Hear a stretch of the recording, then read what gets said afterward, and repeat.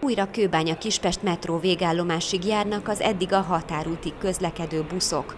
A BKV közleménye szerint valamennyi végállomásra vezető út és járda kapcsolat elkészült, a metró és az autóbusz végállomás közötti utasfolyosókon a gyalogos közlekedés feltételei biztosítottak.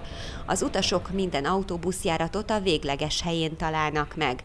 Megszűnik a határúton a P parkoló helyén kialakított ideiglenes végállomás, így minden érintett érintett autóbuszjárat csak Kőbánya Kispesten lesz elérhető.